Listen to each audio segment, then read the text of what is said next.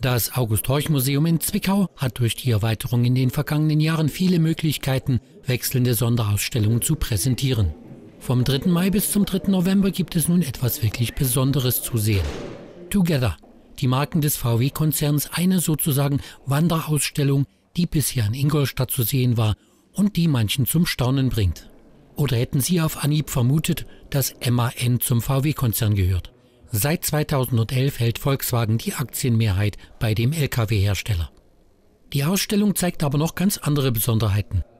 Sie werden in der Ausstellung 13 Fahrzeuge, also Autos muss man dazu sagen, ja, ein Motorrad ist auch ein Fahrzeug, also 14 Fahrzeuge, davon 13 Autos, ein Motorrad, das Motorrad kommt von Ducati, steht ein bisschen versteckt hier hinten und wenn Sie sich anschauen, Sie haben wirklich vom Kleinstfahrzeug über Ackerschlepper, ein VW-Bus da. Den VW-Bus müssen Sie sich einmal ein bisschen genauer anschauen. Der hat nämlich erstens Rechtslenkung, damit die Türe auf der linken Seite ähm, ist aus Südafrika, ähm, ist ein ganz ein besonderes Auto, sieht man bei uns so in, der, äh, in dieser Darstellung äh, nicht, hat einen Fünfzylindermotor, der mal von Audi gekommen ist, größere Scheiben zum Beispiel, also im Detail weiterentwickelt und, ich glaube, bis 2003 äh, produziert worden.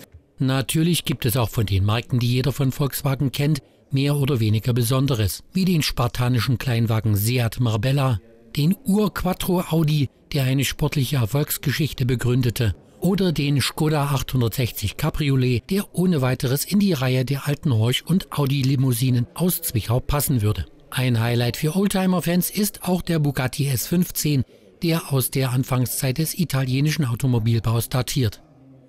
Und auch ein Beutler Cabriolet auf Käferbasis zieht die Blicke auf sich. Die Ausstellung zeigt anschaulich, wie sich der Volkswagen-Konzern über die Jahre hinweg zum Allrounder im Automobilbau entwickelt hat. Eine Seite, die mancher vielleicht noch gar nicht kennt. Vom 3. Mai bis zum 3. November, dienstags bis sonntags von 9.30 Uhr bis 17 Uhr ist die Ausstellung geöffnet.